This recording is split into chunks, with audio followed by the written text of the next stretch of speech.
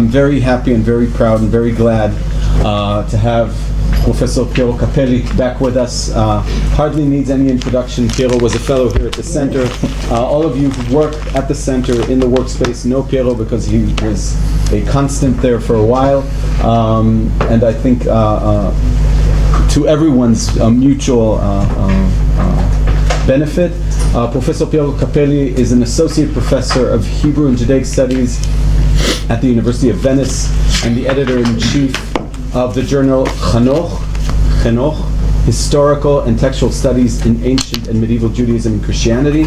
His research focuses on the history of texts and ideas in Judaism from late antiquity to the Middle Ages and on medieval Jewish Christian polemics, on which a topic on which he published extensively.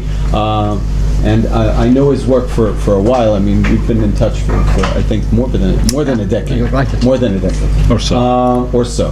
Um, and his topic for today is written on the board: converts in anti-Jewish polemics in the 13th century.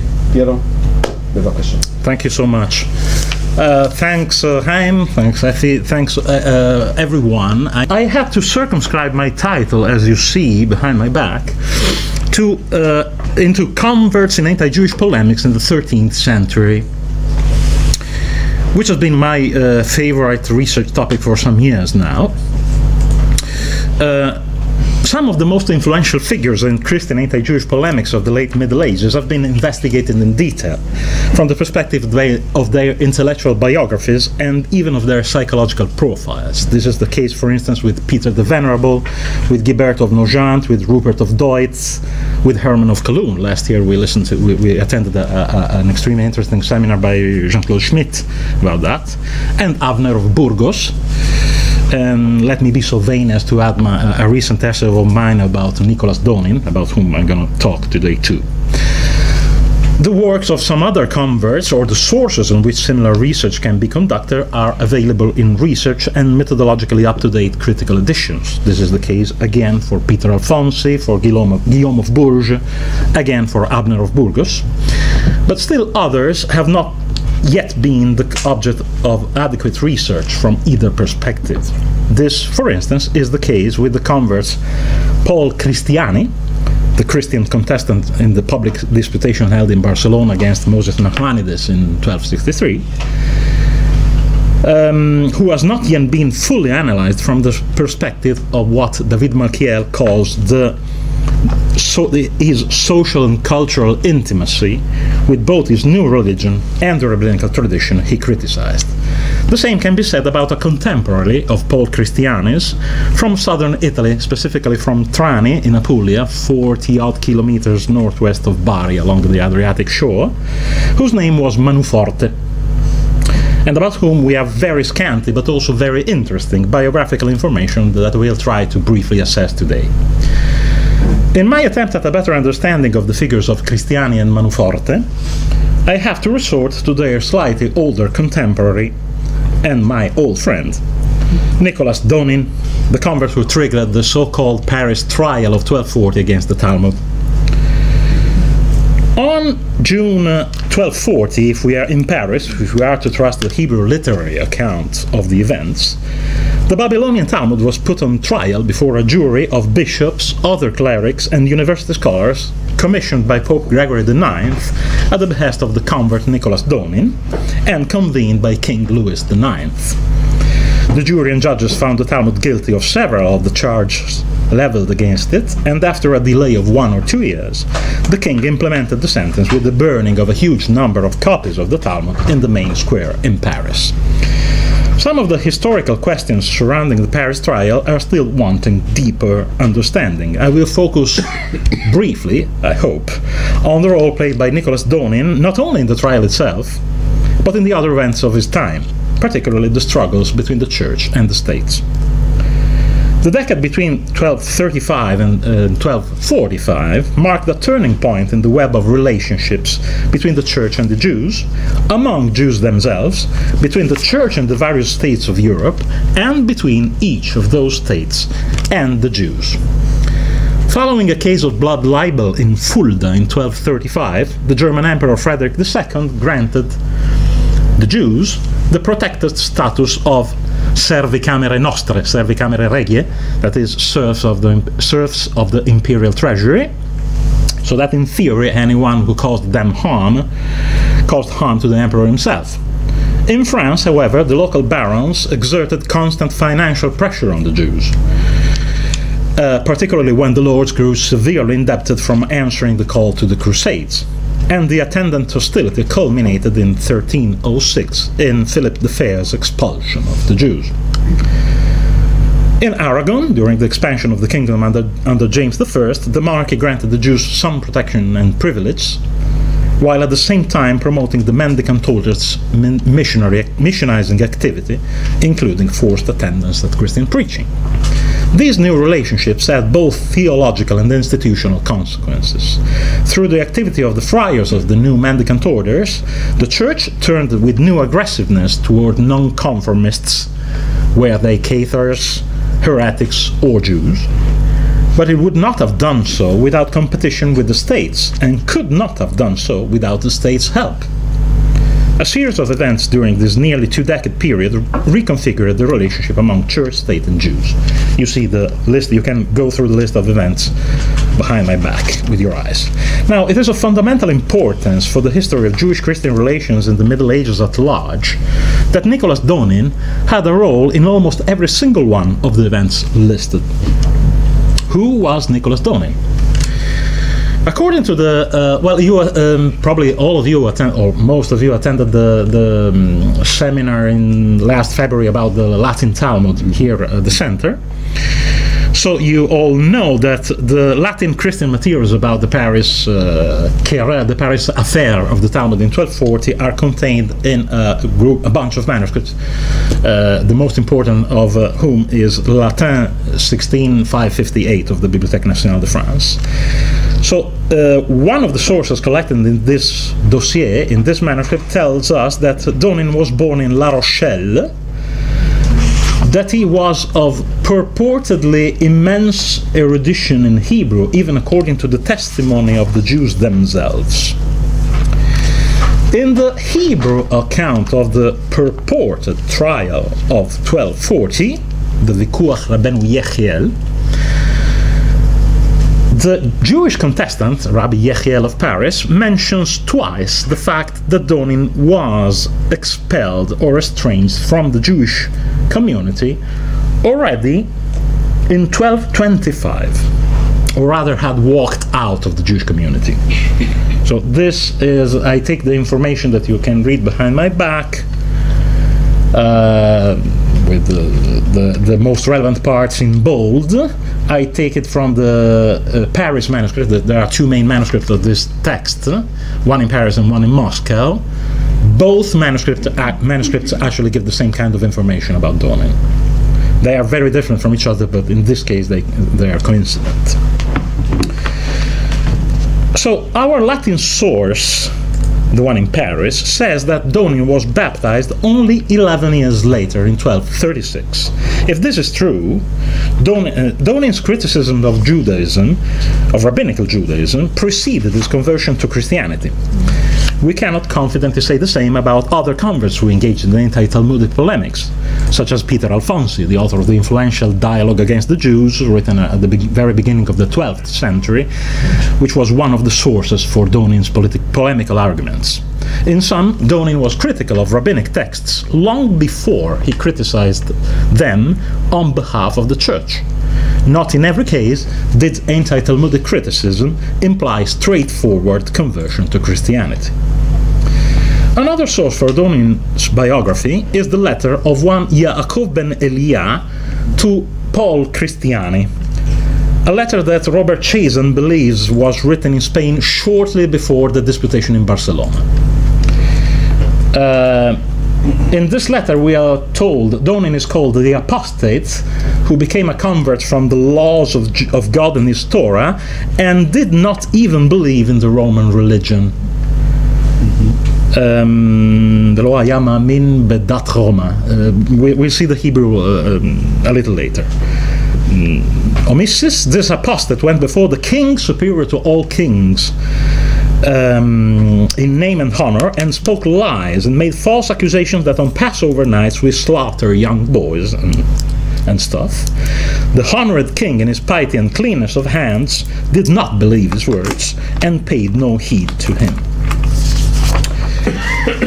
Solomon Grayzel had convincingly, in, in, my opinion, convincingly proposed that the, what is being discussed here is the Council of Hagenau and Augsburg that fall and the investigation that followed the uh, Fulda blood libel case of 1235, and that the king was therefore Frederick II, to whom Donin spoke the blood libel. It is debated, though, whether Yaakov's accusation that, that Donin spoke the blood libel is reliable or not. The Vikuach provides a clue on the issue ex silentio, for it is uh, an extremely aggressive uh, text against Donin, who is the bad guy, the bad guy in the story. Um, still, um, there is no no mention at all is made of the blood libel in the text, and it's to say the least, unlikely that such a polemical text would have missed an opportunity to target Donin for such an important issue nor is the blood libel mentioned in any of the sources, both Latin and Hebrew, directly related to the Talmud affair. There are other social sources to talk about, uh, but there's also a lot of other stuff. So let's turn to Donin's attack on rabbinic literature, its sources, and its strategies. The best documented event in Donin's life career is, of course, the Talmud affair of 1240 the 35 charges he submitted to the Pope are listed in an appendix called the Articuli Litterarum Pape, an appendix to the Extractiones de Talmud, the vast collection of passages from the Talmud translated into Latin that you, you know from this, that you well know. All the charges are supported with proof texts translated from the Talmud itself and from Rashi's commentaries to it the oldest manuscript containing this dossier, not the only one, but the oldest one, is Paris, Latin, 16558, compiled soon after 1248. And the manuscript also contains. Uh, I'm really sorry to have forgotten to add one important piece of evidence contained in the manuscript. So after the uh, sorry, right between, in between the Extractiones de Talmud and the Articuli Litterarum Papae, you should add uh, five uh, folios containing a collection of ridiculous, that is, irrational, blasphemous, anti-Christian, and pro-rabbinic, pro-Talmudic passages taken from collections called krovot of liturgical hymns. Um, this collection, this anthology, has in the Latin sources the title De Libro Krubot. K R U B O T. Sorry for forgetting to add it in the PowerPoint. Um, Wout van Bekkum. Um, I owe Wout van Bekkum thanks because he allowed uh, me to see a very important essay of his on the De Libro Krubot, which is still awaiting publication.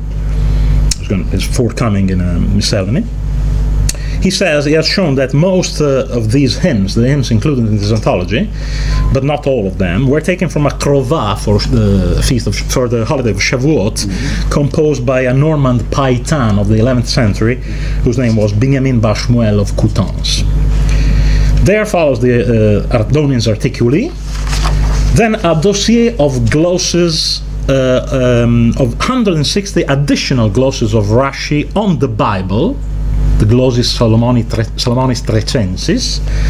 Other glosses of Rashi's to the Talmud are included in Donin's articuli and are part of the accusations leveled by Donin against the Talmud.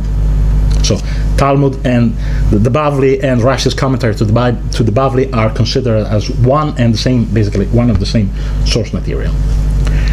And the last part is the two chancery abstracts of the responses given by the rabbis Yechiel of Paris, Vivo Meldensis, and Yehuda of Melun, Magister Judas, to the tribunal that asked them whether Donin's accusations were actually supported by the Talmud, and both rabbis apparently admitted to almost every article of the case for prosecution.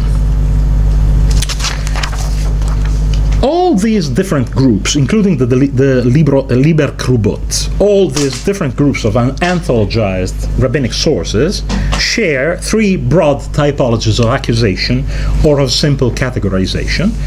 First, passages that are absurd or profane, that is, non conforming to the standards of rationality that were becoming the new trend in European culture, including the realm of theology.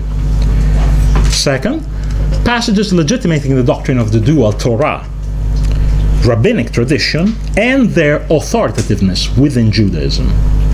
Third, passages insulting the Christians and their beliefs. Let's keep these categories in mind because they will turn useful to analyze our other converts of the day.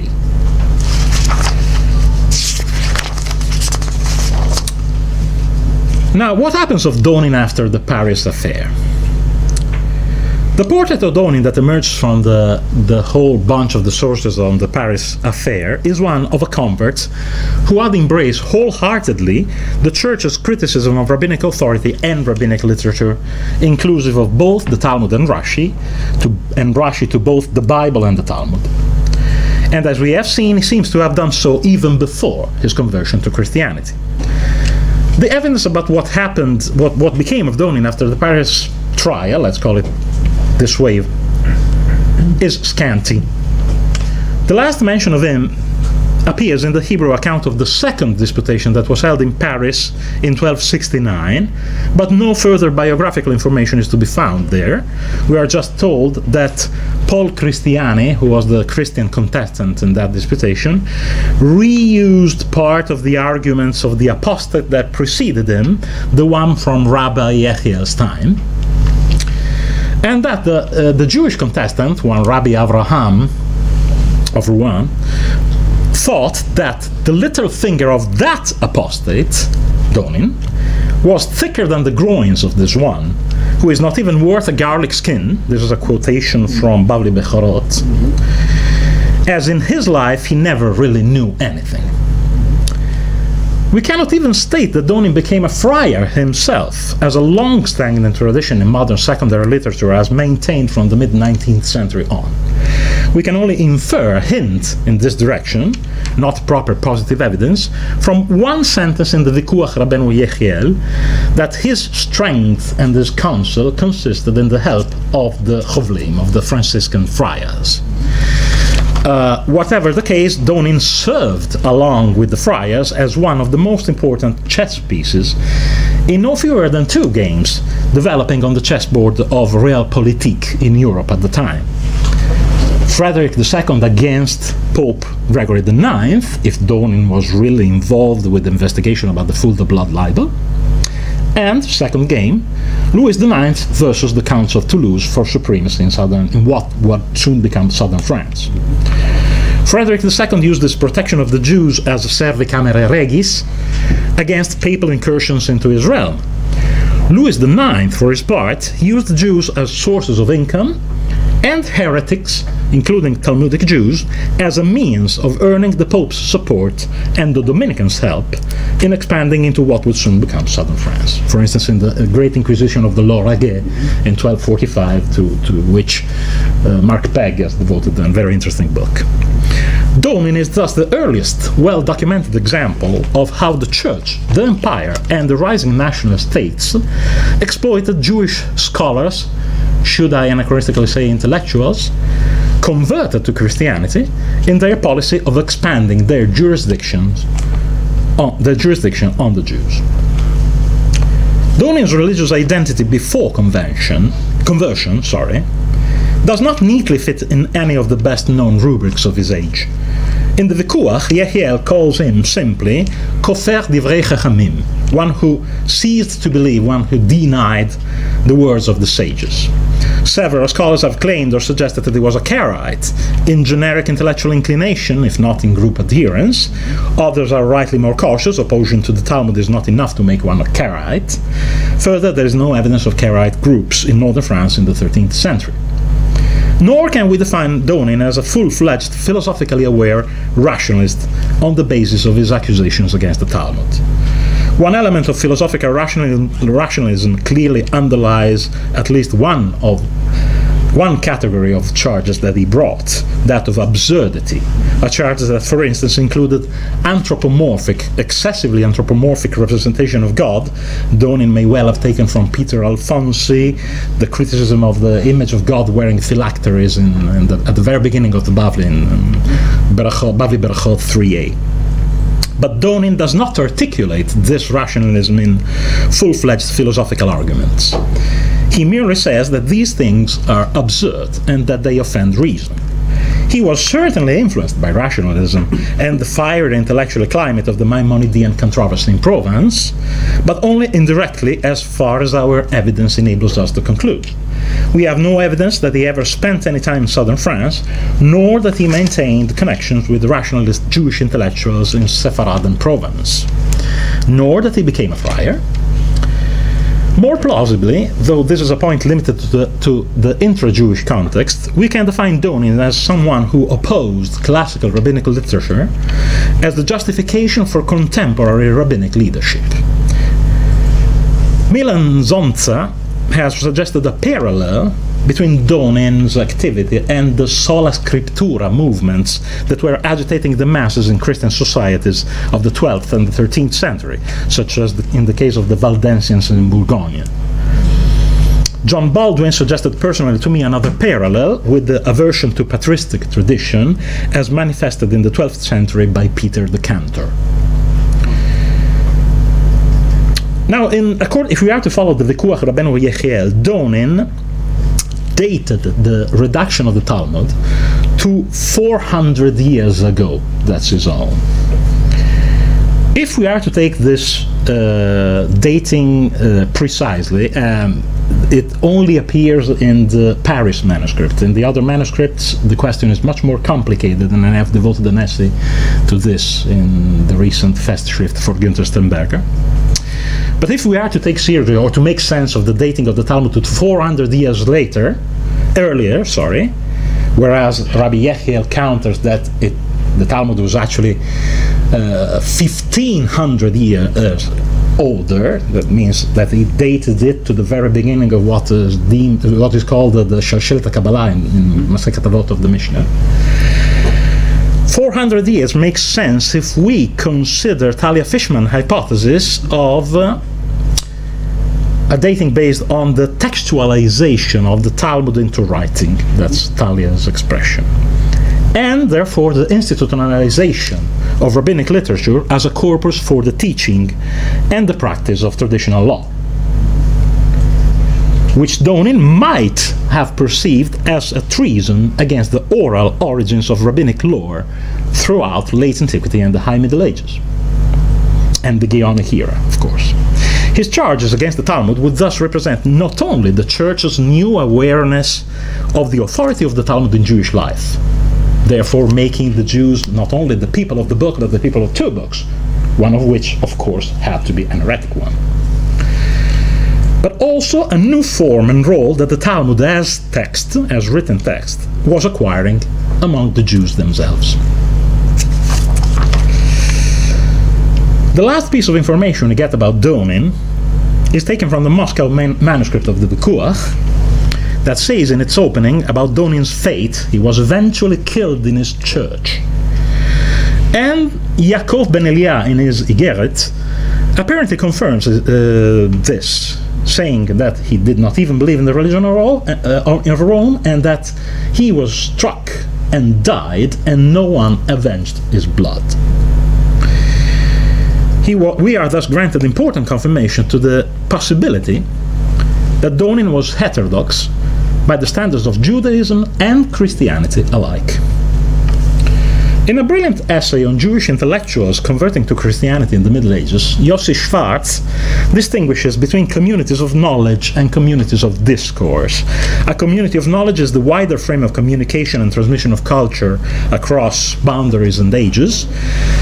And the, um, while a community of discourse involves interpersonal communication within a circumscribed sociological context. The Jewish apostates of the Middle Ages, Donin among them, in my opinion, created, I quote from Yossi, a new community of knowledge separated from all their former surroundings, yet at the same time they were involved in a variety of discourse of discourse communities, one of which was the inner discursive circle they themselves had formed. One must then consider Donin's inner discursive circles both before and after his conversion. As for Donin's community of knowledge, I would suggest that it, that it may be a mistake to class him under the same rubric as the Hispano Provençal converts who preceded and followed him. Alfonsi, Cristiani, Abner of Burgos, Pablo de Santa Maria, and the like. Their intellectual roots were different, as were their polemical agendas, and Donin's philosophical and exegetical instruments were more circumscribed than theirs. In any case, it is certain that Donin belonged to a community of discourse distinct from the one of the Sephardic converts. His hometown, La, Rochelle in Poitou, for the entire 12th and 13th centuries, was governed by a local aristocracy in perennial rebellion against distant rulers. First the Plantagenets, then the Capetians. Among these aristocrats was the Duke of Brittany, Pierre de Dreux, who for almost two decades had been conducting his own fight for suzerain rights, at times against his own vassals when they became excessively independent, at others against the bishops who had uh, the bishops who had suzerainty over the Jews and therefore over the assets of Jewish moneylenders. In his oscillating politics, the Duke alternatively alternately pursued help from the king against the bishops, or help from the popes against the barons. One finds a similar convergence of aims and efforts, both political and military, in the Moyenne Durée, from 1215 to the 1250s, between the Church, which aimed at repressing the Albigensians, and the Capetian monarchy under Louis VIII and Louis IX, which aimed at expanding into the Duchy of Toulouse and Provence. There is also another relevant parallel between Louis IX's politics towards Jews around the Paris affair, using them, that is, using them as a tool to please and accommodate the Pope's political theology, and their exploitation by Pierre de Dreux, and eventually by other suzerains and the Capetian kings themselves, as a financial resource to fund participation in the crusade that Gregory IX had proclaimed in 1234 the crusade to which Pierre de Dreux adhered personally in 1236. It thus happened that in 1236, participants in the crusade massacred the Jews of Poitou, along with those of Anjou and Brittany. Pierre's son, Jean le Roux, eventually expelled, expelled the Jews from Brittany in April 1240 thus wiping out the huge debts his father and his vassals had incurred in order to fund their participation in the crusade. Donin's stance on the massacres of 1236 is reported in the Vikuach, if we are to trust, of course, the, the textual uh, literary evidence in Hebrew. The villain said, How many myriads of you fell by the sword in Brittany, Anjou, and Poitou? Where are the portents and the signs that your God wrought for you, if you, as you say, are the chosen people? One can even explain how Donin might have adopted such a position given the status and treatment of the Jews in the region from which he himself came.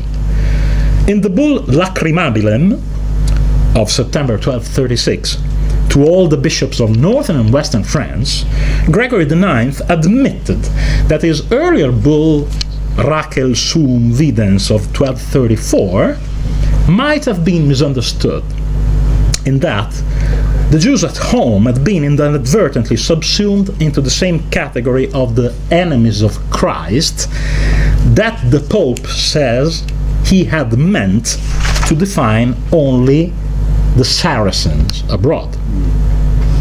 So in the Lacrimabilem, Gregory graphically describes the massacres, quantifies the loss of Jewish lives as 2,500, and mentions in passing the first securely attend, uh, uh, attested burning of Jewish books by Christian hands in medieval history.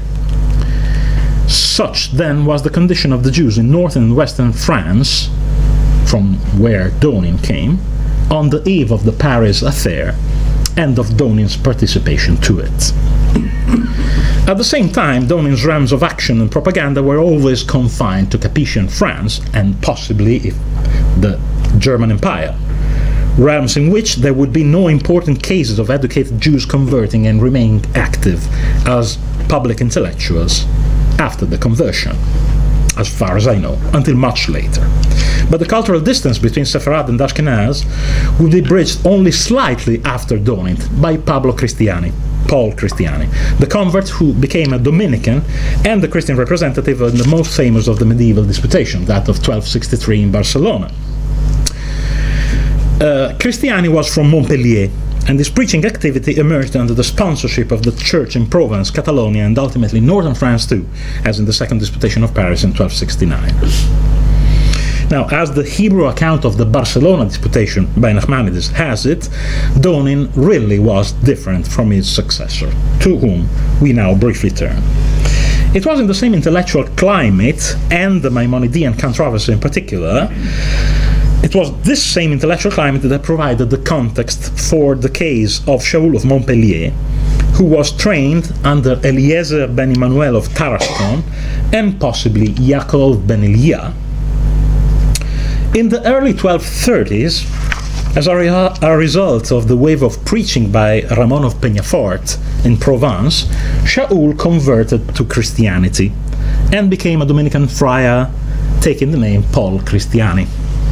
He became a renowned itinerant preacher. He participated in public disputations now let's take the famous Barcelona disputation as the, our case study. His main polemical point, Cristiani's main polemical point in this disputation, was attempting to show that rabbinic Agadah re revealed the truth of Christianity.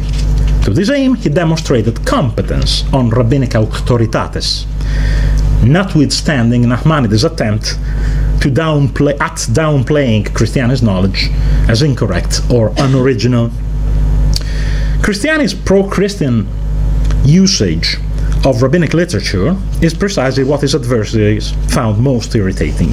Yaakov ben Elia devotes the whole first third of his long letter to Cristiani to defending against Cristiani's allegations Jewish, Jewish interpretations of difficult rabbinic homilies, objecting that Talmudic Agadot are the kind of easily accessible material that every religion must commit to writing for the purposes of preaching to the unsophisticated masses who are incapable of understanding higher religious truths in their purer intellectual form. Either way, Cristiani demonstrated not only an expertise in rabbinical materials, but also a willingness to use sources other than reason in order to, to polemicize against Judaism. In effect, differently from Donin, he did not deny the authoritativeness of the Talmud, but merely used it to Christian ends.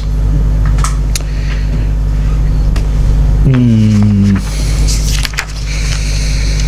Ursula Ragacs noticed that Cristiani's uh, criticism of some rabbinic material corresponds by and large to Donin's, notwithstanding their different agendas, general agendas.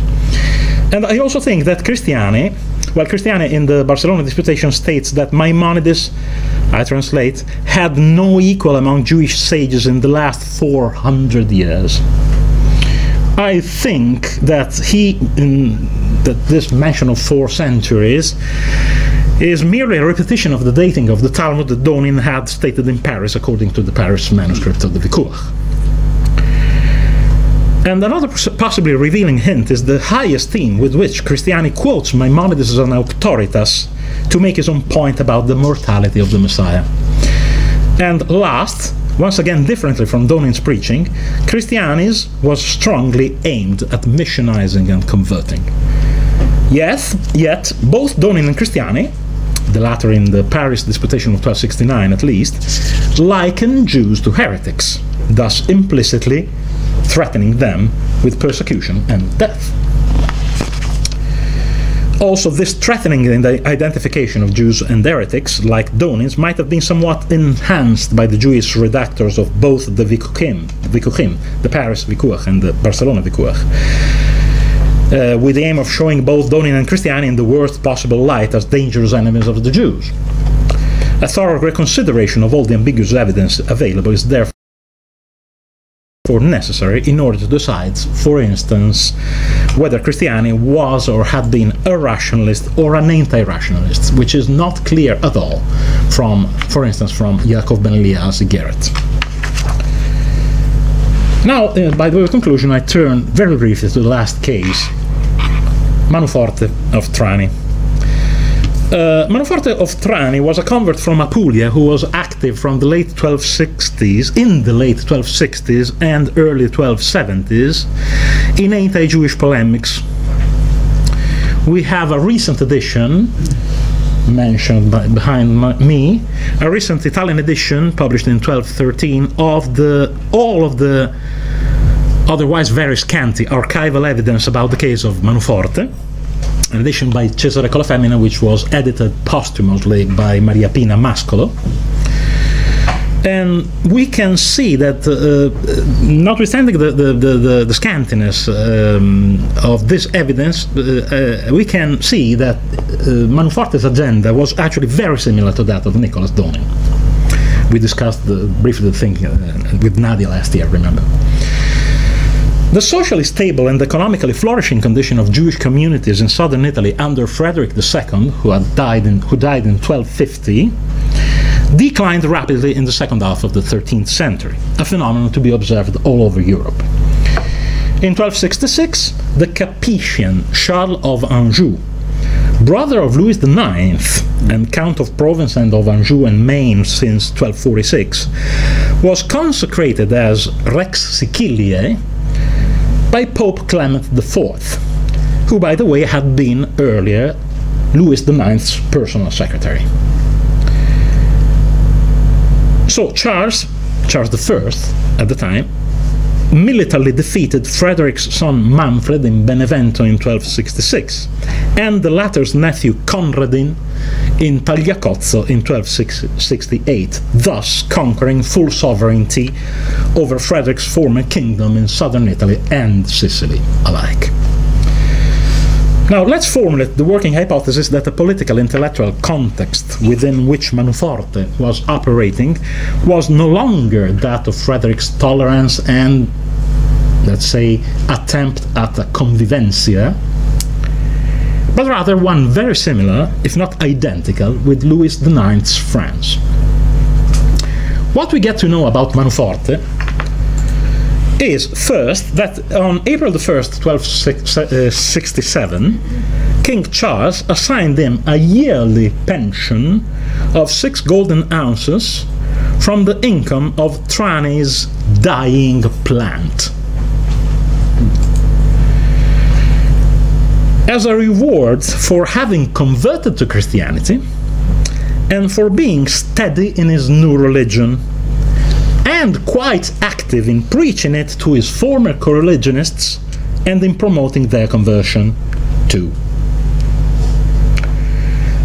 Manuforte is mentioned only four times in archival evidence and uh, uh, for, uh, is mentioned for the last time only four years later in June 1271 by a local officer, governmental officer in Trani, who certifies to have paid for that year the prescribed yearly amount of money to Manuforte. On May 8, 1270, King Charles mandates his police officers, justitiarii, to get permission from the local prior of the Dominican friars or from the local warden of the Franciscan friars or from the priest in charge of the local diocese permission to search, confiscate, and send to his court the books that some Jews are known to have with themselves. I'm translating the Latin And we are also told that Manuforte, the former Jew and former chief of the synagogue, had denounced these books as containing blasphemies against Jesus and Virgin Mary. Now, the titles of these books differ in one case in Colafemmina's edition of the sources. Uh, in the short notice before, well, they are called. There, there's, a sh- uh, there's a short notice in Italian preceding the edition of the Latin, where the, the texts are called Talmud, Karbokt, et Sedur. Whereas in the edition of the Piece of Evidence itself, the titles are Talmud, Kair Boet, and Sedur. I mean, not a big difference. It, it can, of course, uh, uh, depend on uh, um, a first mistaken uh, transcription of a, a, more likely correct Karbokt, in my opinion.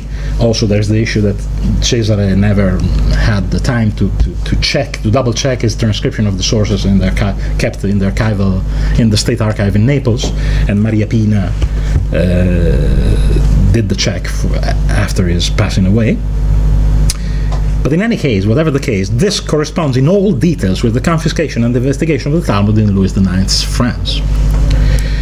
Also, the titles of the confiscated books appear in all the three manuscripts or main manuscripts of the Paris Latin Talmud dossier,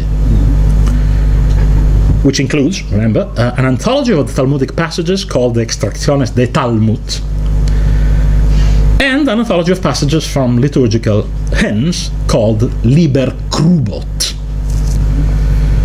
As for the Sedur, the third part of uh, uh, Manuforte's accusations, I explain it as a reference to the Birkat Minim, which is included in Donin's article, in Donin's charges against the Talmud,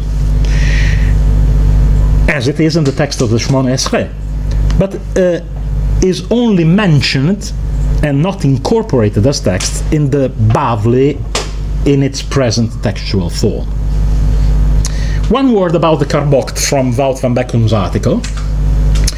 Wout defines the title Karbokt, uh, sorry, Krubot from the, the Latin man, Paris manuscript. He defines it as exceptional. That's his own word. Because, given the character and the content of that part of the Paris Latin Talmud manuscript, bearing this title, there can be little doubt that the, the editor or the editors of the Latin Talmud mistook the name of a section of a liturgical sequence, I mean, Krovot as the name of a liturgical literary genre, as the title of an already existing compilation. This is Wout's. That is, the title of a whole book in its own right, Liber Krubot. The fact that the same name turned into a title appears in the sources about Manuforte can be considered from a text critical perspective as a coincidence in an indicative error. The title is mistaken. It appears in the Paris Latin Talmud dossier. It also appears 30 years later in a totally different context in southern Italy, in Apulia. Therefore, the Apulian evidence should depend, must depend philologically on the Parisian evidence, on the Latin Talmud material. So, if this is the case, it proves that Manuforte was dealing with the same polemics and textual evidence as Donin and the Dominicans in Paris around 1240.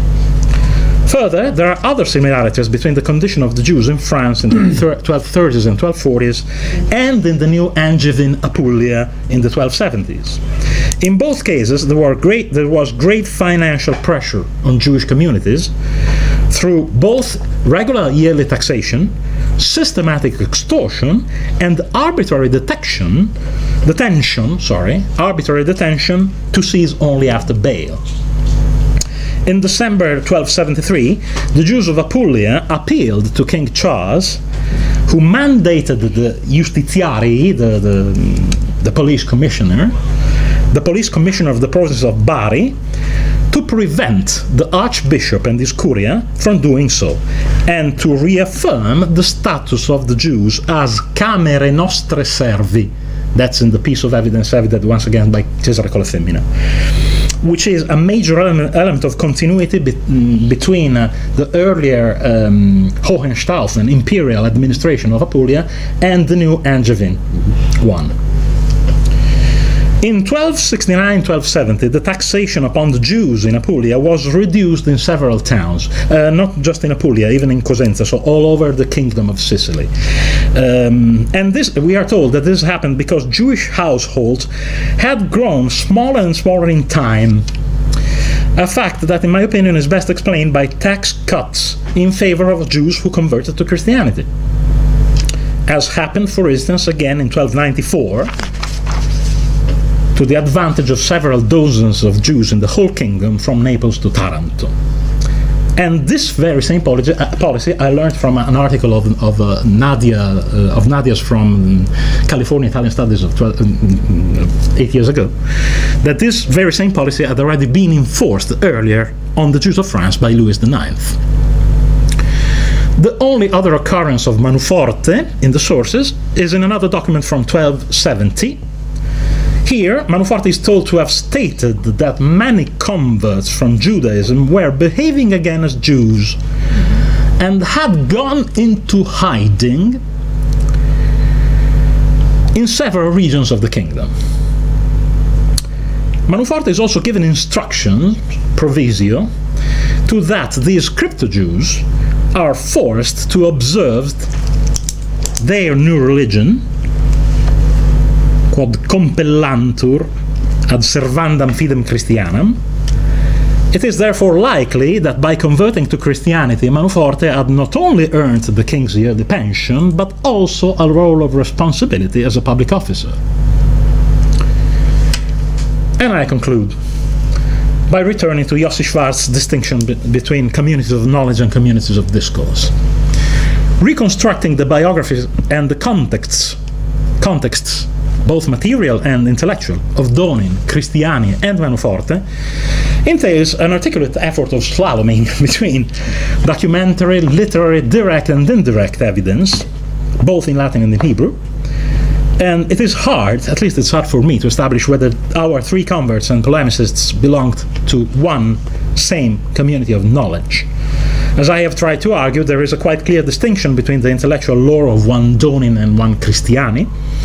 Still, they were both well versed in rabbinic literature, and both their intellectual polemics against their former religion were rooted, if through different channels, in the Maimonidean querelle of the 1230s and in the Aristotelian rationalist attack against tradition as the only legitimate source for truth.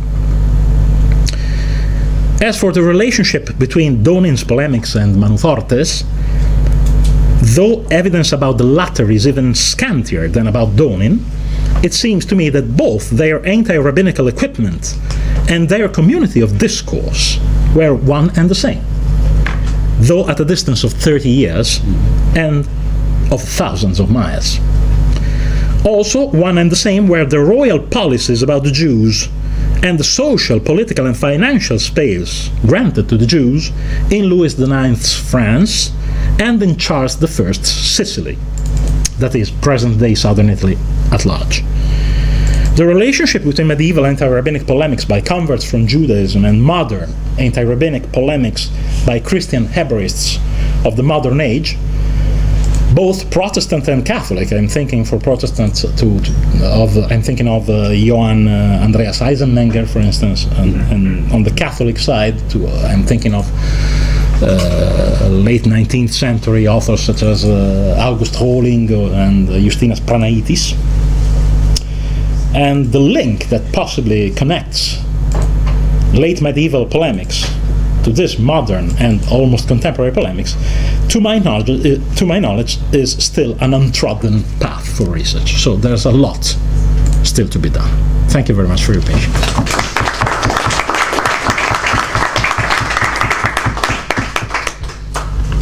Thank you, Piero, Thank for you, guys. a uh, very um, articulate and I think also masterful slalom. Um, the floor is open for questions, ro- comments, remarks. Please. Danny. Uh, Short question, short comment and long question. Uh, uh, In terms of blood libel and attack on the Talmud, if I'm not mistaken, the very end of Nitzachon Yashan has two short passages on the exact same thing. And It's interesting that he ends the book by those two subjects. So it doesn't have anything to do with, might necessarily, not necessarily have anything to do with donating, but might be connected to this issue of whether the Jews at least perceive uh, blood libel and Talmud attack the same way. The larger question is in terms of, you mentioned in passing sort of the conversionary campaign, and of course you spoke about converts. And as you know, one of the major issues is what, what was the purpose of these disputations and whether or not they had conversionary uh, uh, motives. I was wondering whether you could address that question. What's your view of the conversionary aspects of the public disputations?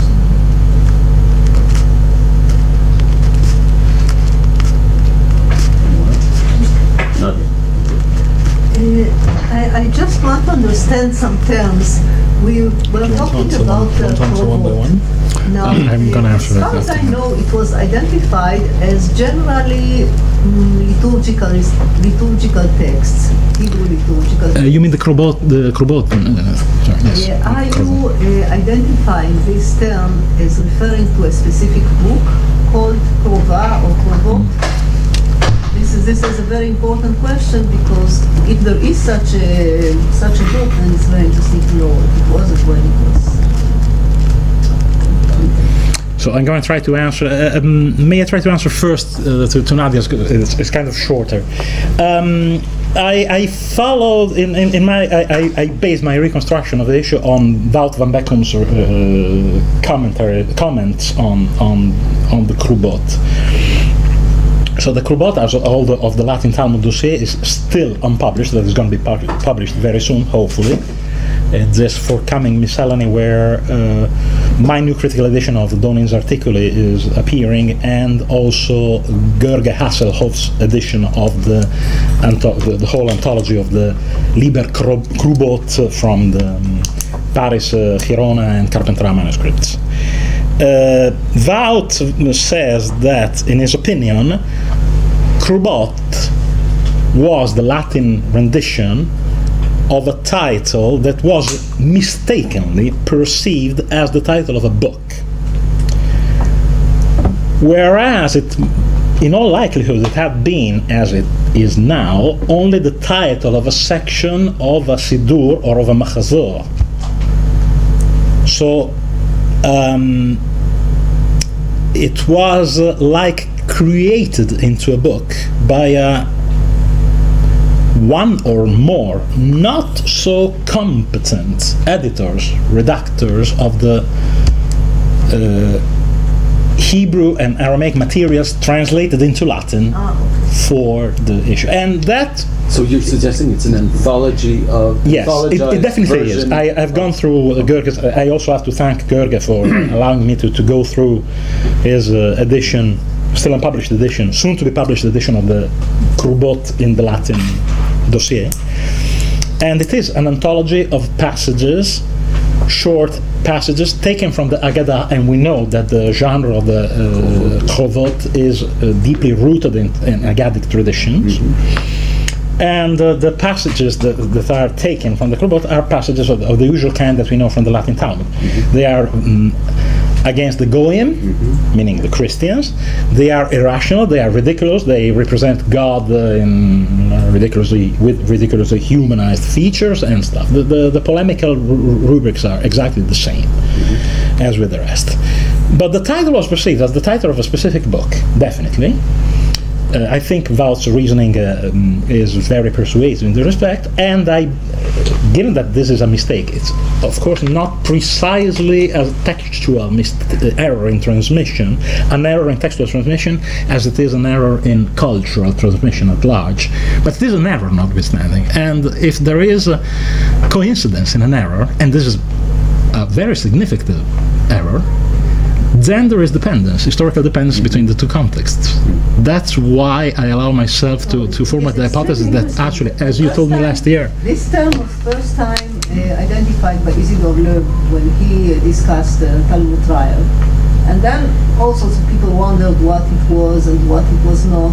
And what you are um discussing here is a, a Christian Latin compilation of all sorts of passages taken from uh, Midrash, Agadah, prayer books.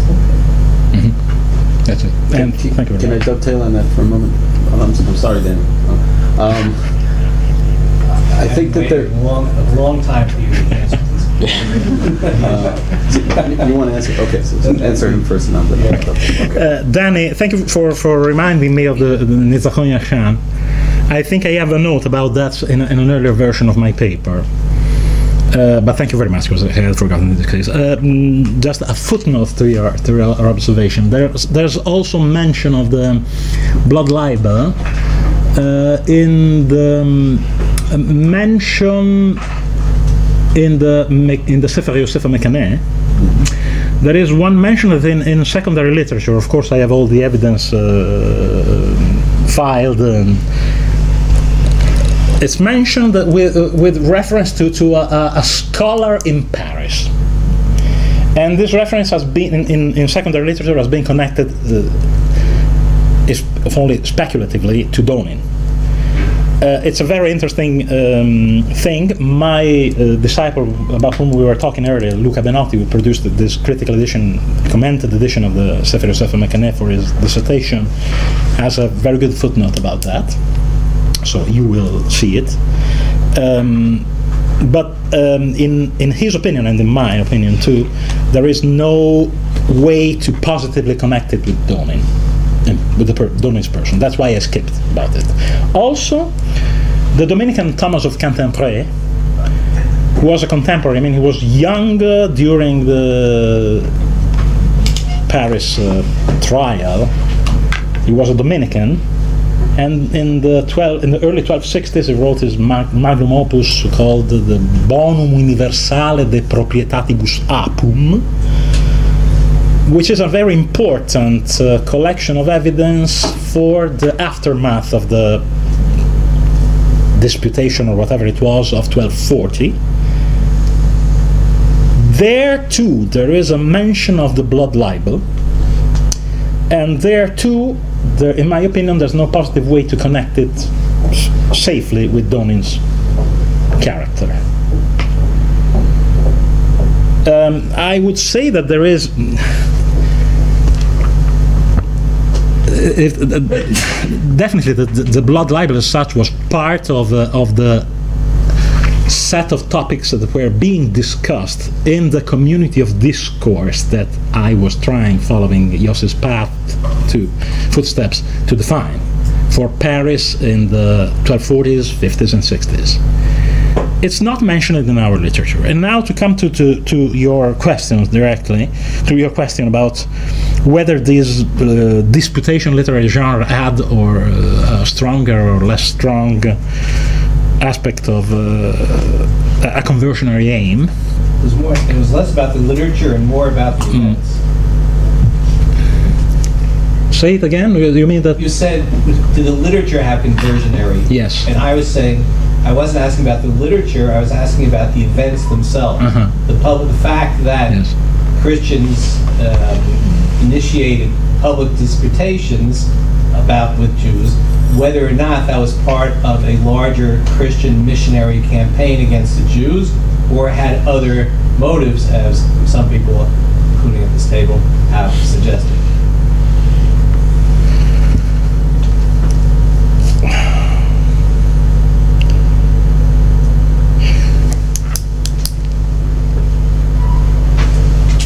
The Latin evidence, I, I'm talking about sources,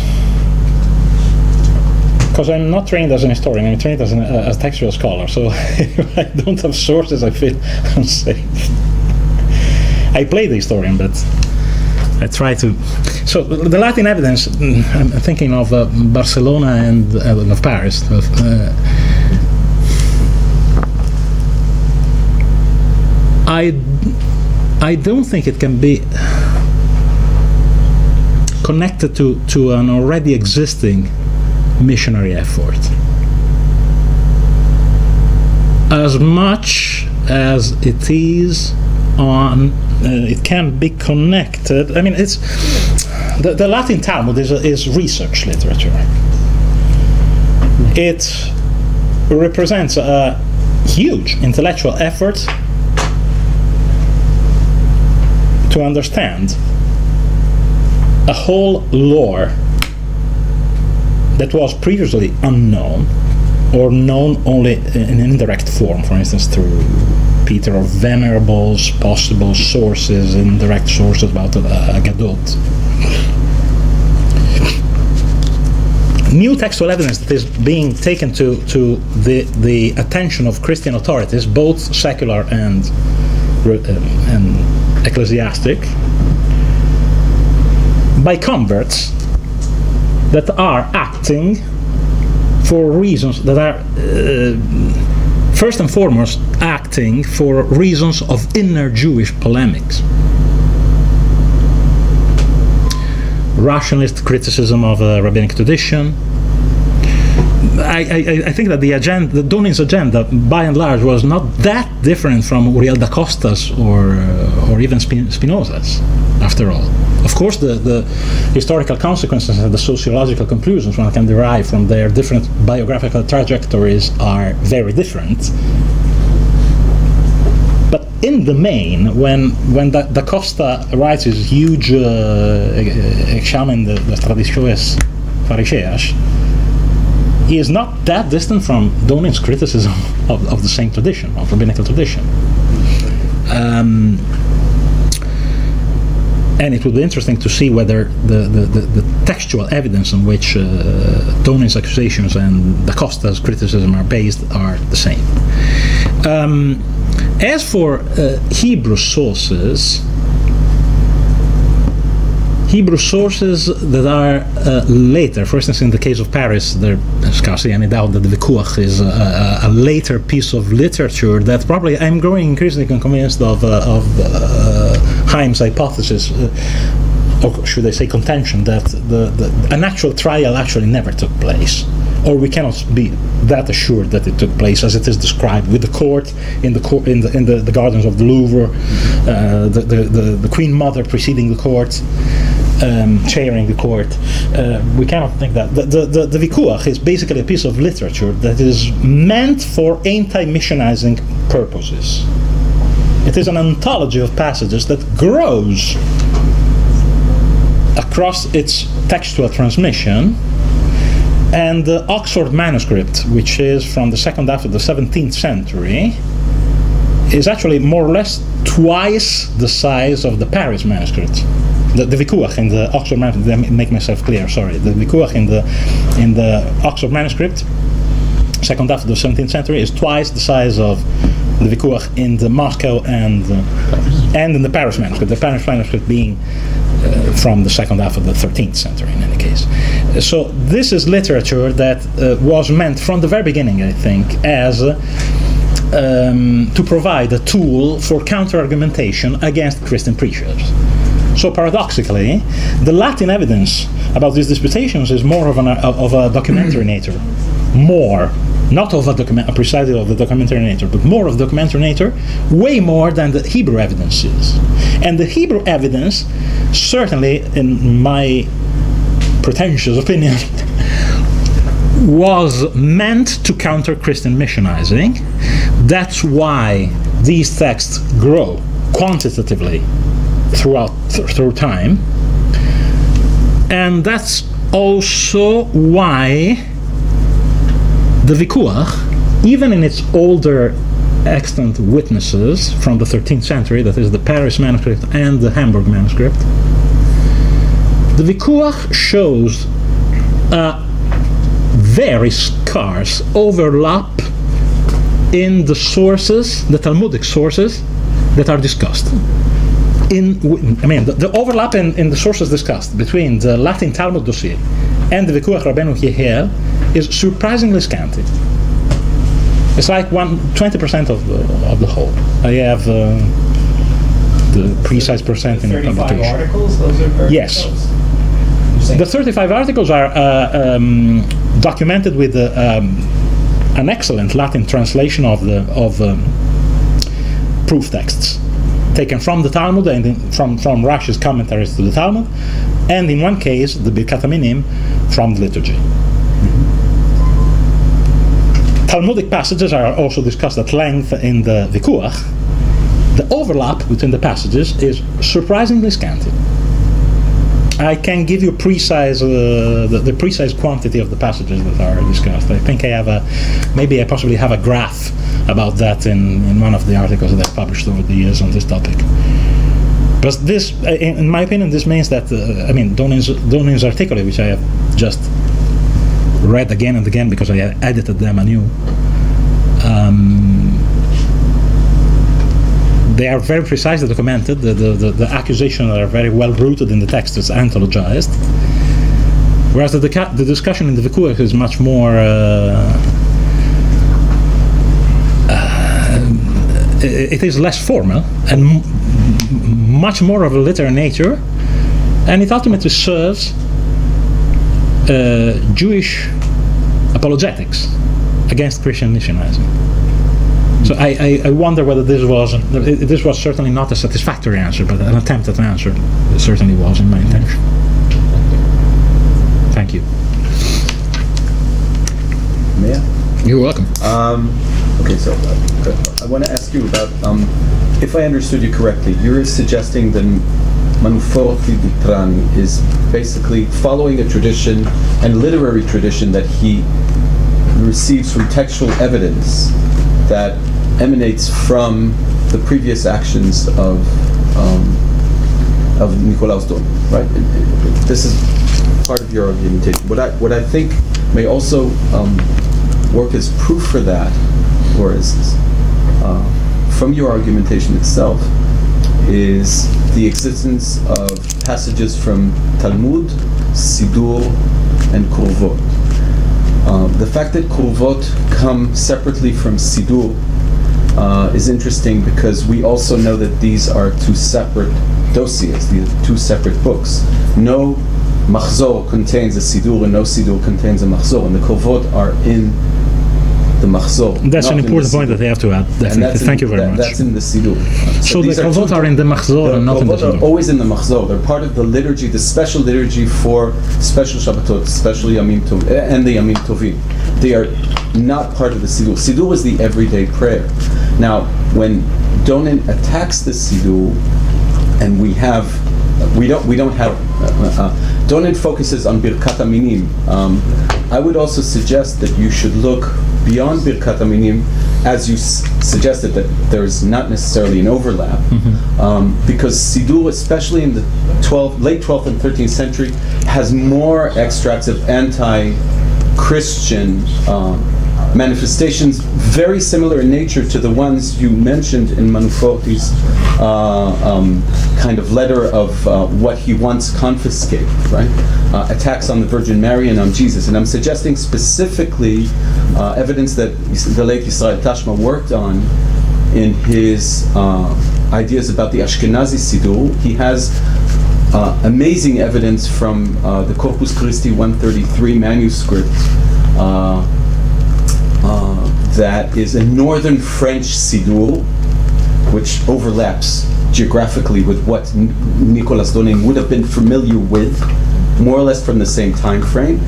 And there you have very um, explicit language uh, in Aleinu Leshabeach, which is a, a, a, a, a prayer that is being crystallized more or less at the same time and is novel.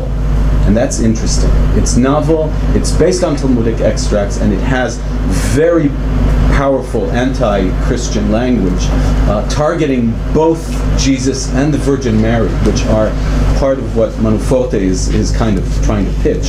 Um, I- I- I'll just, um, if you don't mind, I'll, I'll read just an extract. עלינו Please. לשבח, לאדון הכל לתת גדולה ליוצר בראשית, which is the standard prayer, and then it goes on to say שהם מתפללים להבל וריק ומתפללים לאל לא יושיע, אדם אפר, דם מרה, בשר סרוחה רימה, which is a, uh, uh, uh, a play on, on the letters of Mary, טמאים טמאות, מנאפים מנאפות, מתים בעוונם ונמקים ברשעם, בלויי עפר רקובי רימה, also a play on the, on the letters of Mary, ומתפללים לאל לא יושיע. Uh, it doesn't get better than that.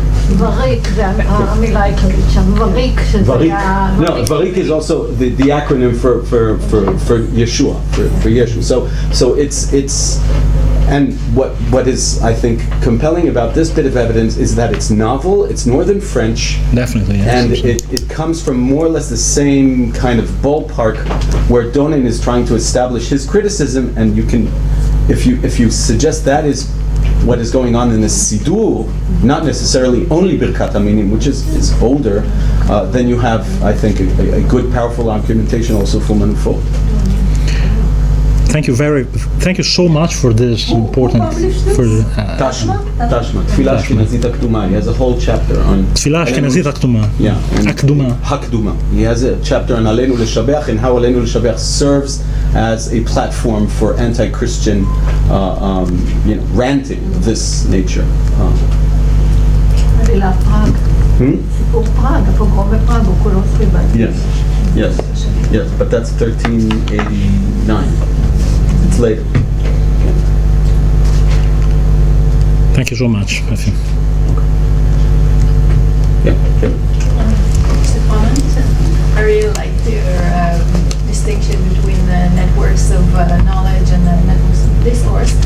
And uh, I It's not mine, it's Yossi's. Yeah, Yossi, but uh, there's a, a book, I don't remember the author, uh, discussing uh, networks of philosophers. And I think the model there is um, it's very, very interesting. It doesn't make this distinction, but it does show that you can um, you can show the connections between people from different places and different times and how they create a network. So that might add to the model you're using. Thank you very much. Um, if I'll- you happen to remember the- the, the the book, uh, title and send it. that'd be very useful. I have the book on my shelf. I, uh, it's a professor Fantastic. from Harvard who spent 20 years uh, Yeah. developing these. Yeah. Uh, uh, and A very thick It's a very thick book, Yeah. and now I, I can't remember his uh, his name either. But, This gives me occasion to, to, to drop by your office uh, once again. yeah. With pleasure. I think uh, also John Tolan, uh, uh, in his early book on Peter Alfonsi, actually tried to map the, the, the network of his intellectual connection all over Europe, from I Sfarad to, to, to, to the British Isles. Because it's Uh, almost the yes. same way of of demonstrating that. Good. That's going to be a very useful way of deepening the argument. Thank you very much. Thank you. Yes, you know, just a very short remark and then, and then a, a, a long question as usual in my case, sorry. Uh, Regarding just the short remark, uh, don't forget that Uriel da Costa examination, he claimed that somewhere, somewhere in the world, there were Jews who they behaved like Sadducees. By that he was meaning to the Karaites perhaps. And this is a major difference in terms of the utterance of both authors, even though they, both of them, they put into serious question the reliability of the oral law. Okay? But then now my question. You, you put the, in a very interesting way the, the arguments and the life of these converts and the political uh, framework. And perhaps, perhaps I am completely wrong. We have to, to take more into consideration a kind of, uh, I will say, mis- missing link, although it is implicitly, you, you, you spoke about that, the Dominicans and the Franciscans. You mentioned that Donin, according to the Hebrew, it was related particularly to the Franciscans and not to the Dominicans. This is not, of course, the case of, uh, of Christianity. And uh, then my question is, on the one hand, if, if you have something to say about Emmanuel Forte, whether he was more attracted by Franciscans than by the Dominican. And, and lastly, the Angevin uh, tradition in terms of religiosity, of course, they supported the, the Dominican orders, but uh, we know, thanks among others to Jacques Le Goff biography on Saint Louis, that he was particularly fond and he's court to the Franciscan way of conceiving Christianity. And then, should we see her perhaps a kind of Angevin Franciscan anti-Jewish link altogether, uh, which is perhaps different from a, I will say, a, a, Dominican, uh, let's say, non-Angevinian, uh, more pro, uh, yeah, link. Yeah, two two different uh, theological political avenues. Yeah. Uh, Thank you very much, Claude. Thank, thanks very much for that. I mean, th- this I, I knew that coming here was a big challenge for me, but also an immense pleasure and an immense enrichment for my for my work. So, thank you, you guys, all very very much. Um, Manuforte first. Um, I have discussed all of the evidence that we. I have presented all of the evidence that uh, we have about Manuforte it's basically nothing.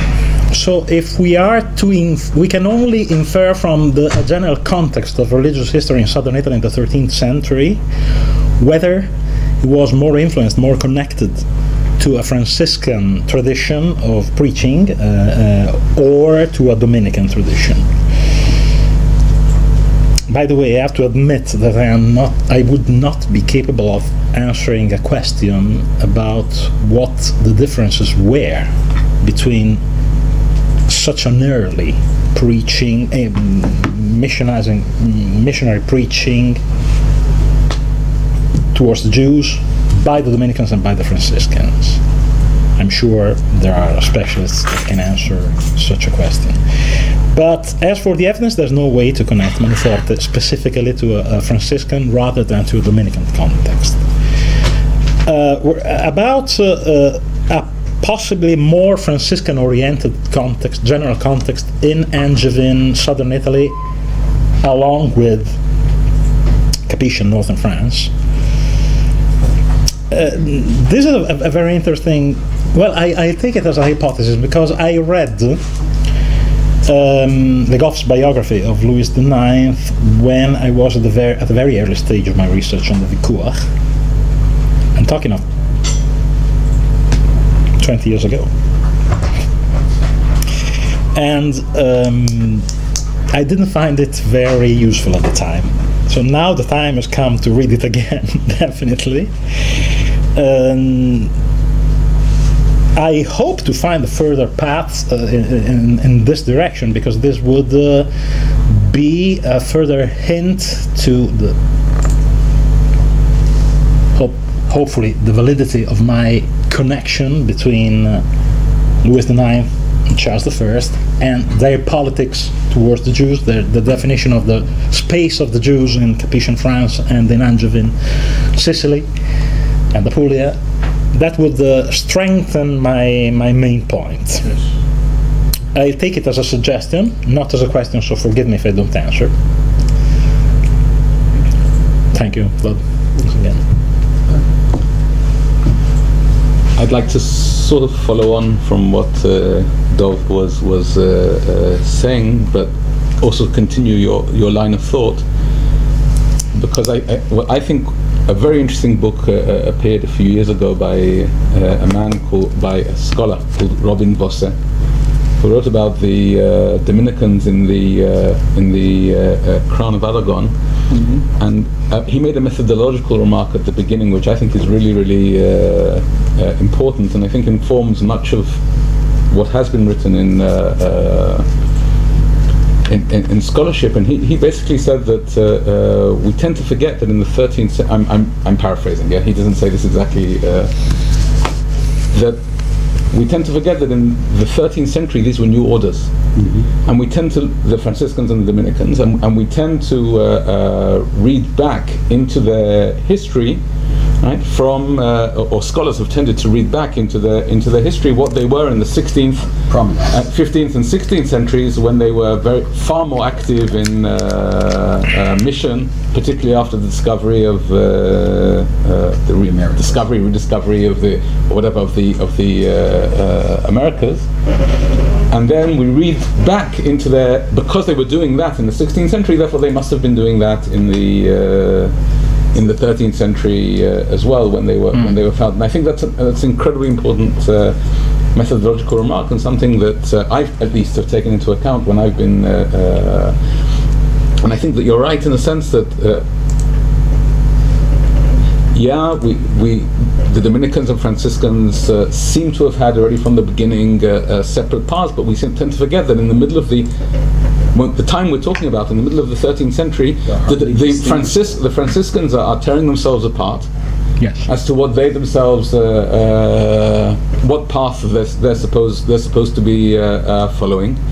Right? The, the Dominicans seem to be, and again, here we have to, uh, uh, uh, within the Dominicans themselves, there seems to be disagreement as to also what path uh, they, they uh, uh, should be following and where they should put the emphasis. And what Robin Vose shows very, which is really nice, he goes into the archives, at least the archives that survive, right, and tries to say, okay, what were they spending their money on?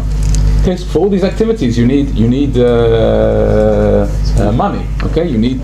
It's all very nice to talk about uh, mission and uh, setting up of language schools and, and, and, and everything else, but you need you need to have uh, uh, funding. And he goes and looks at and tries to trace right from within the archives what the uh, uh, sources of funding, and he discovers there perhaps not surprisingly, that there's that you cannot show that there that there was consistent effort at mission to the uh, uh, Jews, right, or to the Muslims hmm, in that period. Okay, that's not to say that there wasn't. It's not to say that there wasn't uh, uh, afterwards, that it, or that didn't develop as one of their main, as one of the mainstays of their uh, activities. Right? And he's focused on the Dominicans, but it's if you look at the uh, uh, uh, uh, uh, what they were spending their money on and what activities were important, there's just no evidence, or not enough evidence, at least to say that this was one of the main. Uh, uh, and I think then, if you go back to the text and look at it within, look at as you did, right, and look at it within that uh, broader uh, context, what's happening there becomes much more complex. Sorry, but at, at the same time, and we have not only go from 20 years ago, but others which, which uh, for instance, uh, demonstrated the Franciscan influence on the construction of the Sainte-Chapelle in France, and the a, a image of the Christ uh, killed or crucified body by the Jews as a topos which was elaborated by Saint Louis himself through the Franciscans. My own guess, without making any generalization, is that we have two tendencies. The, the, the Franciscans seems to me they are living, uh, although an Augustinian politics, but still in it, it, it is it, it- they were more some of them more sensitive to the idea of conversion or or, or nothing or expulsion whether the my my own perception is a tendency not a law of the Dominicans is to try to find a more uh, I would say critical but but still a, a way of conceiving a Jewish living within the, the, the, the Christian uh, domains. And and I, I, I believe that that these ideas evolved during time, but, but you can see already in the 13th century this kind of Judenrein and Jews and heretics, which you can somehow reconcile them uh, vis-à-vis uh, a, a, Franciscan and, and, and a Dominican tradition. Uh, uh, there's um, if I can add one thing, uh, it dawned on me that in the the list of the members of the jury that um, examined the Talmud for the second time under Innocent IV, uh, uh, coming to the, the, the so-called sentence, sentence of Odo Chateauroux in 1248, if I am not mistaken, includes both Franciscan intellectuals and Dominican intellectuals. So uh, in, in the in the parish, in the Paris uh, affair, the two Mendicant orders seem to have uh, gone on cooperating on, one, on the same level, at least un- until the end of it.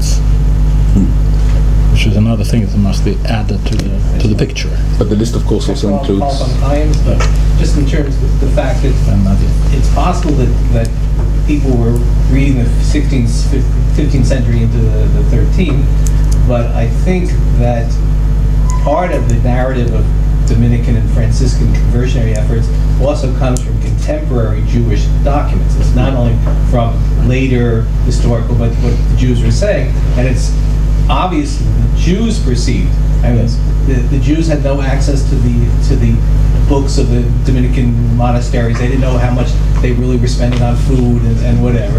But they did know that when they met these people on the street, that there's a that they had a problems. Sefer Bekanes says it very, very explicitly. Yeah, So it's left and So right. that, so at least there's a Jewish perception that there was a conversionary campaign. Whether or not there was, I don't know. But I know the. Jews thought there were, and I don't, and I think the Jews also felt threatened by this conversionary campaign at the time. So, uh, they, they, you know, it, just like we always judge, if you read the Israeli press, the only thing that's mentioned, the only thing that foreign press does is talk about Israel. Right? Because that's what is of interest. Uh, if there's a, and anybody who dies who's Jewish gets into the Israeli press, and you read the foreign press, you would know he's Jewish. Right? So it's a very self-centered view, but that's the view that the Jews have. Actually, the, the evidence before uh, Nadia, the, I was thinking of the evidence about Manoforte. We had sources that actually m- mention very clearly that Manoforte was uh, leading a campaign, was the, the, the response, was in charge of a campaign of missionizing the Jews. A campaign that was successful, as far as we can say, because the, those who converted uh, had tax cuts to the point that the number, the number of the, the, the, the numbers of the, the, the, the Jewish households was rapidly decreasing. Therefore, meaning less income for for the secular authorities. Can you say And that? we're talking about small numbers because you, you only you know only too well that Italian commu- communities on, on the Italian territory have always been very very small, very active but very small. Can you That's say? not- Sorry, Nadia. Nadia, you were. Uh, two comments. Uh, one about, well, actually it is my interpretation, so I am very careful about this, about the evidence uh, of Abraham Abulafia regarding the conversions in his period, which is the period of Monforte. I'm not talking about the later conversions at the end of the 13th century. That is a Hebrew source. If you are interested, I can send you my Hebrew article on this. Uh, on this, but this is beside. There is one more I am definitely extremely interested. Thank you very much, Nadia. Thank you so much. Uh, And sorry for missing it myself. no, no, I, I'm sending you, no worry. And um, other observation is uh, one of them is just a general one. The other one I'm quoting uh, Shatzmiller regarding Angevin uh, policy. Uh, Shatzmiller points out at the inconsistency in Angevin policies regarding the Jews. And he gives quite a lot of examples, which is very interesting to see how on one hand they could be very rigid, very conversionist. On the other hand, well, I wouldn't say tolerance, but I would say, okay, a kind of um, let live. Uh, and this is very interesting because it has some implications also for the Muslim situation in southern Uh, uh, now, the other, uh, the other side of this point, of this point, uh, sorry if I interrupt you, Nadia. Where, but can, can you be so kind as to remind me or tell me actually where did Shatzmiller write this? yes. Yes. Thank you very much. So it is the um, um, 50th anniversary of the Italia Judaica Jubilee. Ah, yes, yes, yes. Okay, yes. Uh, and yes, well, the other thing I wanted to point out, which is really very much in tune with what uh, Shatzmiller says, is the difference between the Angevin policies toward the Jews in Sicily itself, in the island of Sicily, and on the mainland in southern Italy. Because as far as we know, there are not that many documents, but there is no evidence of any attempt to convert Jews in Sicily. Mm-hmm. Which is, I mean, in this period, of course, later uh, Sicily is not anymore under rule, but I'm talking about uh, uh, 1260s, 1270s. And 70s, yes, because after that it's still in Vespers, On yes. the so- other hand, as, as we said, in southern Italy you have this quite massive uh, uh, conversion efforts. So maybe uh, this Manforte had a role in these things in southern Italy, because, you know, uh, Dominicans and Franciscans were present in, on the island and on the mainland, just, uh, just the same. So maybe the difference is really the presence of this personage who perhaps had access to the king, perhaps uh, suggested uh, looking into Jewish books and so on. I mean, it's just a thought. I have no evidence for this except for the difference, okay, between. And of course, this is the question of the inconsistency that Shatzmiller uh, emphasizes. So could the, the two aspects of your observation be related to one, to one another? I mean, Abulafia might have chosen Sicily as his place of, uh, of election for. Uh, I don't know, Abulafia later comes to Sicily, one but he comes to Aragonese Sicily He, he, uh, what he talks about the conversions is in, during his stay at Capua and uh, in southern Italy. I, I'll send him an article, you'll see Okay, the, thank where you. the quotations come from. Okay, thank you very I, I, I must say that is my interpretation. Uh, uh, Moshe Idel disagrees with me. Mm-hmm. He thinks it means something else. But when I see יוצא מן הכלל, I interpret it as, uh, as conversion. קצת יצאו לתרבות רעה, I think. Okay, thank you. Thank you very much.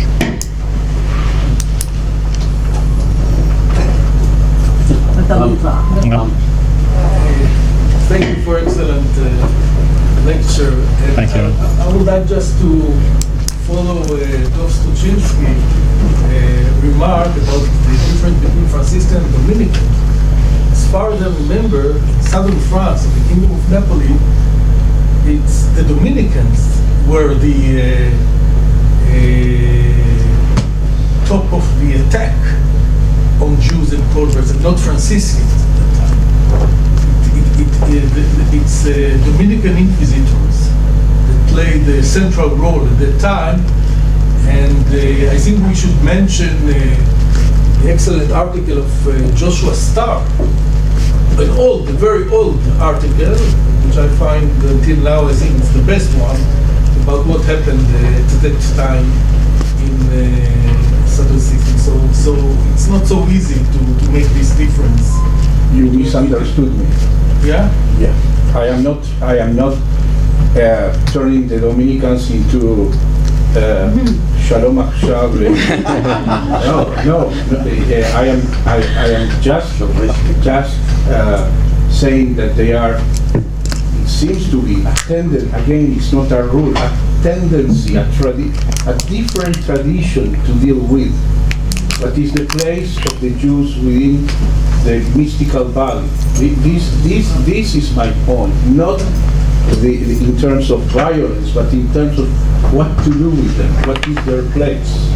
This is my point. Sure, this is another thing. And, okay, thanks. And I have another question for you. It's not uh, directly about uh, the subject here, but you used the Jacob uh, uh, Ben Eliyahu Iggeret uh, letter to, uh, to Paul, and I'm very interested to know your opinion about the disputation between uh, Stowe and Chazan about the conversion of uh, Jacob and. I don't remember the distinction. I, I, I read the bibliography a long time ago. I realized that we are dealing with a text that is uh, uh, as poorly edited as the Vikuach. huh? And I want, it, it is my next, for, for my next life. It's my, my research project. I, I, I need to provide a different edition from, we need a different edition from Kobak's, which dates from the 1860s. Yes. I remember both um, Chazan's article and Kenneth's and Ken's, but I don't remember the topic. I'm really sorry. Whether it was- Of course, I have um, Okay, we can speak about I have filed them in my my archives, thereby giving myself an alibi, a reason to forget them. Ram, can Yes. I just make Sorry, one I know Starr's article Yes. is really very well documented, but there are some people who are um, disagreeing with Star about the role of the Dominicans. For instance, Benjamin Scheller, who was here, he thinks uh, it was the Franciscans who were more involved in the conversions and so many things. So I, I can't judge between them, but there are really different opinions. So. Thank you. A short kind of philological question, given what Dov just said, and the fact that uh, as you say, the religious commitment of Donin is uh, questionable, not only through his biography, but by um, observations um, or posthumous observations about his commitment uh, towards Christianity. Um, you draw a connection between him and Monforte. And if I, if memory, memory serves, the last piece of information sta- about him states that he was asked to deal. So the phrase is compellantur ad um, ad servandam fidem Christiane, right? So how um, how certain are you that the notion of servare translates to conversion as such, or whether it's a sense of serving the Christian faith? No, a I, I'm actually convinced that it means uh, to, to, to practice Christianity. well, are you? Let's uh, let's go. Yes, let's go back to the, the Uh, why- source. So needed, they need to Yeah. return to practice Sure, Christianity. but, but no, Yeah. return to, to serve. Okay, return to servare. My question is whether servare really just means as such, just convert to Christianity or practice Christianity as such, or whether they Next are one. su- their thoughts Uh, to starts encouraged to occupy this space that is not quite, you know, Not there, it's not there. not quite. It's it's it's. it's Ho compilato la Servanda Fede in Cristiano. Uh, here, uh, Manu, I, I'm, I'm so sorry. You see, I even for, forgot to to to, to, to copy the, the, the precise date of the of, uh, of this piece of archival evidence. Uh, I only took the year, and I didn't copy it. I didn't transcribe it in full. I'm sorry, but the, the question was about Jews that had already converted and were behaving as crypto Jews and had gone. That's the interesting. They, they had gone into hiding in several parts of the kingdom which is easy because the, the kingdom was and huge and there are parts of territory, especially in Calabria near Cosenza and stuff that are totally out of control even for the Italian state today. As we know only too well. Uh, therefore, they went into hiding, and Manuforte is, is mandated, is, is given provisio, which means that he has an authority to enforce this provision, quod compellantur ad servandam fidem Christiana, so to, to go on behaving like Christians. So is this missionizing? Is this, or, or My just question is really on the theological, Hmm. the, the lexical uh, I- I think- of, of, of servandum. Is to serve the Christian faith. Does that just mean squarely? I think it, the, the, it, it would be more, might be mistaken, of course. I think it would be more correct to translate it as to keep their new Christian faith practice. Freedom can be rendered with practice, I think, in several contexts. Here too, specifically. Thank you.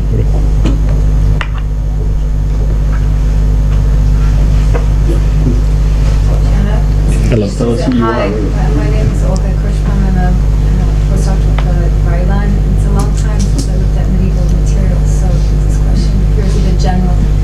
Forgive me, but I'm still trying to understand the difference between, if you could just speak in general terms, between the 12th century and the 13th century. for- Between the 12th and the 13th, Right, what's, what's the shift? Do you feel there's a shift during the 13th century? Because these kind of- Oh my god, this is such a general question that I won't, I, I wouldn't dare to, to, to, to answer. I really don't know how to, to, to, where to start facing it from.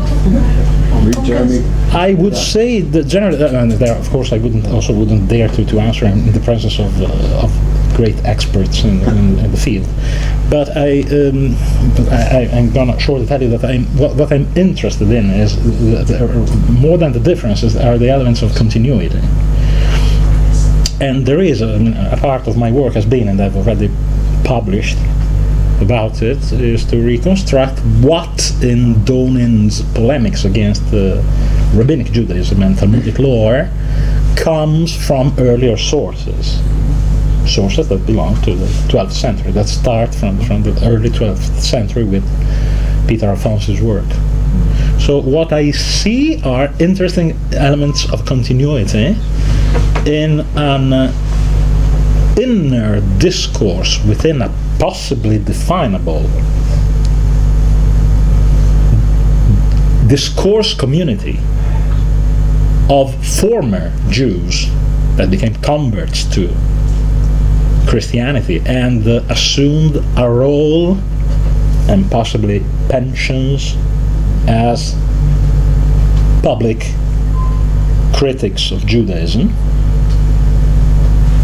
I, I'm interested in seeing the, the, the elements that are the, the, the sources on which Donin might have built, on which he may have dealt in order to construct, in order to, to, to articulate his pretty articulate strategy of attack against one specific aspect of, it, of the Judaism of his time and, and place. So for me, it's not about differences; it's about uh, similarities.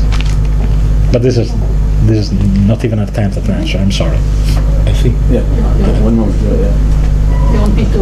Yeah. Just to say that uh, probably a generation ago there was this uh, very famous uh, discussion or, uh, between uh, Funkenstein and then uh, Jeremy Cohen. And Funkenstein saw the 12th century as the the watershed between between uh, what was before the acceptance of the Jews and then in 12th century the, the Christians discovered the Talmud and so on, and everything changes. While Jeremy Cohen took it further, uh, took it forward to the to the 13th century and put uh, the blame on the Franciscans and Domi- the Dominicans and then on the Mendicants and so on, uh, which Funkenstein didn't like very much because I had him talking about it. So this is, I mean, probably the seminal, uh, the seminal works that uh, dealt with this uh, question.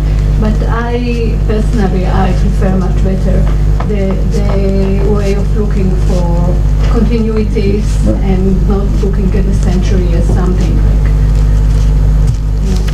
something that changes very, very abruptly because the year 12,000 uh, starts now, or uh, 12,001. And, and so it's much more fruitful to look as you do uh, for the for the continu- continuities and, and the and the long threads of uh, of knowledge that goes from one generation to the other. It, it is true, though. Sorry. Thank you. Or.